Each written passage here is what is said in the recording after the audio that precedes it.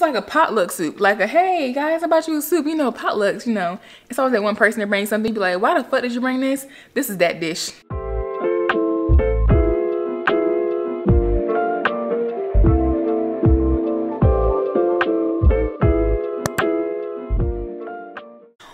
Good, T Tribe? Tiauna T. Yeah, that's me, and I'm here with day three of Vlogmas. If you watched the last vlog, you already know what time it is. I'm about to cook this pumpkin white chili. I think that's what it's called. Pumpkin chili. Never had it. Don't know what it tastes like, but hopefully it's good. So, I do finally got all my ingredients though. By the way, fresh off work. You know, I did the color blocking today. You know, this is all New York and Company, you know what I'm saying? Then I got the blue pants, you know. Color block, you know. That's what I was going for. Yeah, anyway. I finally got all my ingredients. So what I was missing was a pumpkin. I need a pumpkin puree. Of course, because I don't eat pumpkin, I didn't know where to find it from. So I went to like different Targets and all that and they just didn't have them. But the grocery store right downstairs, connected to my apartment, had pumpkin puree. Who knew? Anyway, the recipe calls for unsweet pumpkin. But the thing is, I ain't no pumpkin eater, but I feel like pumpkin should at least be sweet. Cause I'm thinking like sweet potatoes. I wanted my soup to be like a sweet, like savory, like thick, creamy, like delicious, like, I don't know, which is good. And unsweet mean it's not gonna be sweet at all. And I, I was kind of imagining sweet. So downstairs, they had this pumpkin pie mix. And I was like, pumpkin pie, that means it gotta be a little bit sweet. And then I thought about it. I was like, what if it tastes better unsweet?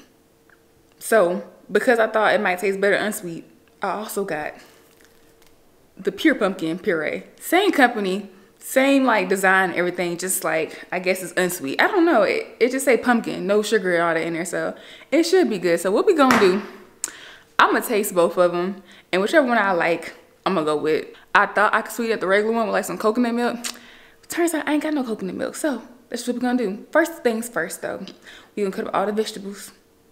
We gotta get everything suited and booted because you know I got I got things to do. I gotta go to the gym. I gotta do CrossFit today. It's my like last training class of CrossFit. So whew, gotta get this over with. So yeah, let's go ahead and get started with that because, you know, been talking too long. Let's go ahead and get right to the video. Starting with freshly washed hands. Here is le onion. And now, now I'm about to go ahead and chop the celery. The recipe calls for two stalks, but I'm adding three for good luck. Update, I thought I was about that traditional life. Nope, ain't in me. So we finna full process it out. Yup.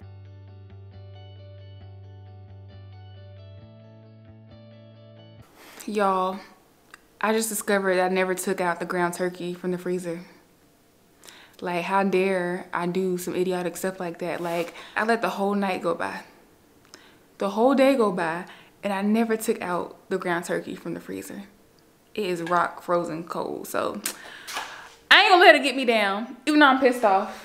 I see what mom was talking about back in the day, but we gonna fix that real quick. We're gonna put this in the microwave and just put it on defrost and hope for the best. Now the recipe calls for like two carrots, but I like to just cut my carrots immediately because y'all see that? It got this like weird little film around it. I don't really like the outside of carrots. It'd be nasty, so I always like to kind of shred that off. And how I do that is I just take it like this and just go over the trash can, just take like five seconds. So I'm gonna do that with two of these.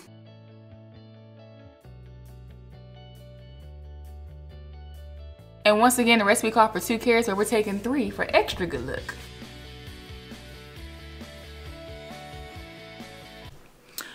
All right, I got everything chopped and ready to go, uh, moving along. So I'm not following recipe to a T because honestly, you make one soup, you made them all. So I'm about to go ahead and cook the ground turkey.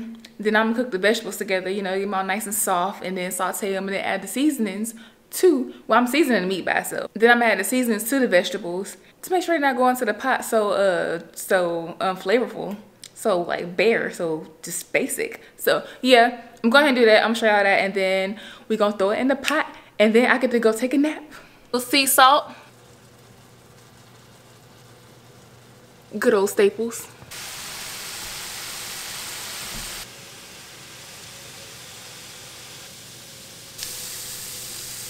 All right, we almost there. So, let y'all get a little close up. That's all the seasonings and the meat and all that added. Now, we're gonna get the crock pot going. But first, you gotta get the good old Reynolds Kitchen slow cooker liners. Because who finna scrub that bowl? Not me. All right, let's get it poppin'.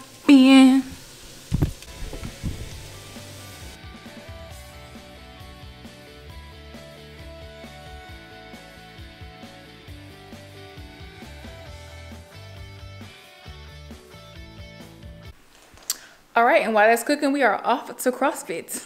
A few moments later. So I'm back from CrossFit. I'm sure you can tell. This why I don't be on YouTube like that. Like y'all, one little session will ruin my whole entire like my whole entire ensemble. Like I look terrible. I look homeless. I look really awful. But they kicked my ass in CrossFit, y'all. I'm gonna walk y'all through what I just did. You know how most uh, gyms or most like workout routines be like, oh yeah, it's just three sets. They said you doing seven rounds. Seven whole rounds. So let me tell you how I started. First of all, we did the warm up. The warm up included like jumps and all that kind of stuff. I was tired and sweating at the warm up. I knew it was going downhill from there. So anyway, the actual workout. We had to do a, what they call them things? So I'm gonna show y'all cause, cause somebody asked me to like document like my journey, even though I already lost like a couple pounds already like that fast. But anyway, this is how you do it. We had a big old 10 pound ball. It was like about, about like this wide. It was like fat. Anyway, you get you a little wall you get close, you gotta go like this.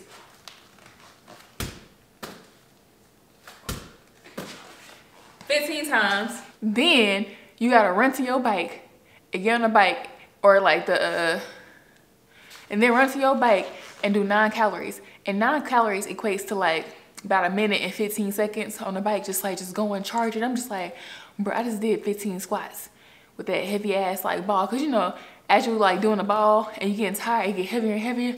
Y'all, I felt like I was lifting and throwing 50 pounds. Anyway, after I do the bike, we ain't done yet. I gotta go to the side. I got this little block jump, right? It's like a block, a block like this high. I gotta do a burpee. If y'all know what a burpee is, you gotta get down, my chest to the ground. Then I gotta bring my feet up. Then I gotta hop up. Then I gotta take a step forward and jump on the block, like with both feet and then stand up straight. Kind of like you gotta flex your booty six times.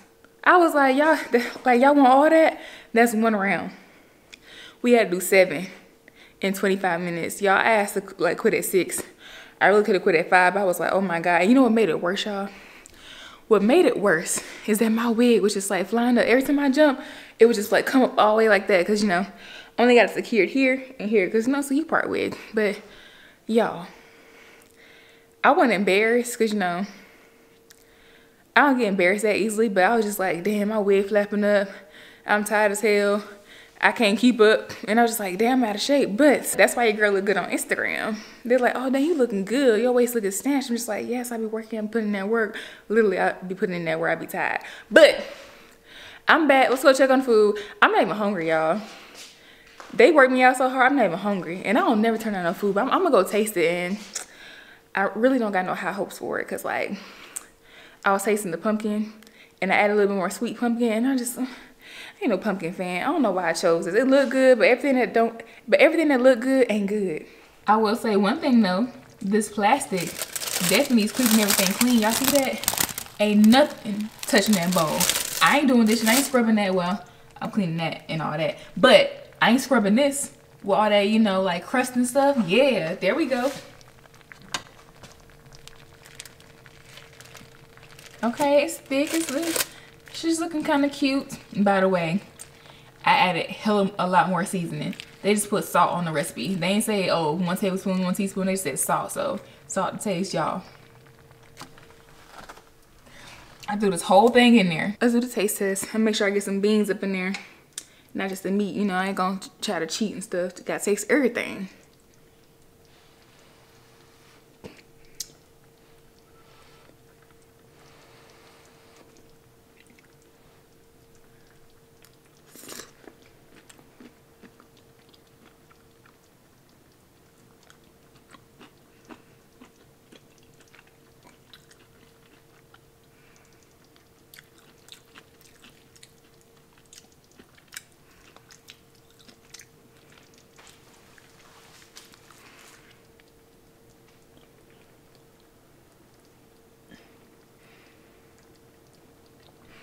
Look, I know I talk all that shit saying, oh, of course it's gonna be good because I taste as I go. And I do taste as I go. But here's the problem. Everything good but the pumpkin. Like my meat good, my beans good, my, my carrots is good. The celery and the uh, onions is good. but the pumpkin is not good. and I tried my best to spruce it up.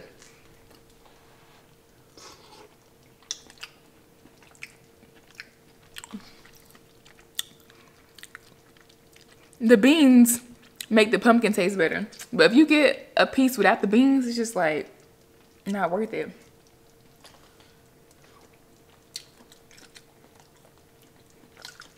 Yeah, my meat real good. It's just pumpkin got a weird taste to it.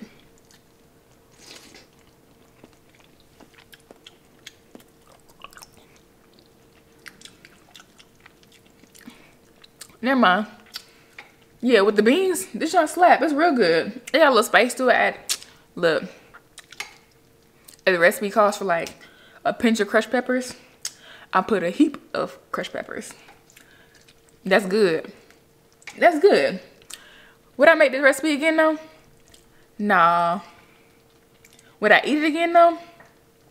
I would eat it again.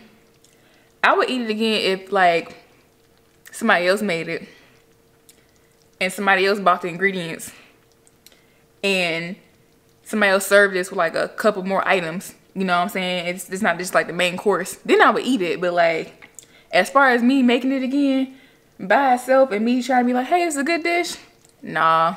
This gotta be a like specific request because like nope.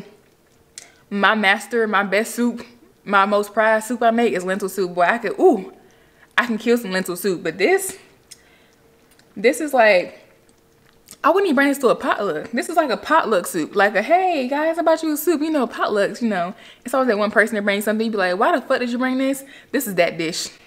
But I'm not eating this tonight. I'm gonna make some rotel dip and call it a day. So that's it. That's all. That's all about this vlog. So yeah, I hope y'all got I hope you guys enjoyed. Uh I'll walk y'all through my rotel dip tomorrow. But that's the end of Vlogmas. I made me a nice little soup. Hope you guys enjoyed me looking natural. My natural state after the gym. Pure lioness. But yeah. Thank y'all for tuning in. And I'll see you on the next vloggy vlog.